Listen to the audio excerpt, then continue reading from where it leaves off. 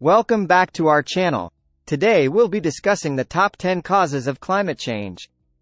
Number 1. Greenhouse gas emissions from burning fossil fuels are a major contributor to climate change. Deforestation, the second cause, leads to a reduction in the Earth's ability to absorb carbon dioxide. Next, the release of methane gas from livestock farming and waste contributes to global warming. Industrial activities, such as manufacturing and construction, release significant amounts of greenhouse gases. The burning of coal, oil, and natural gas for energy production is another major cause of climate change.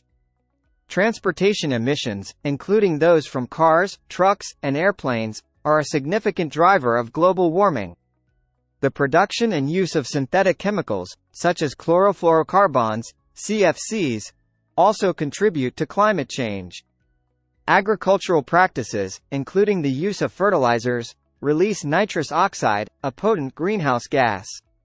Landfills produce methane gas as organic waste decomposes, making them a source of climate change. Lastly, the loss of natural carbon sinks, like forests and wetlands, further exacerbates climate change. These are just some of the major causes of climate change that we need to address urgently.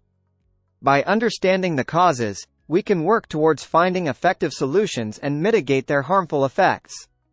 Remember, it's up to all of us to take action and protect our planet for future generations.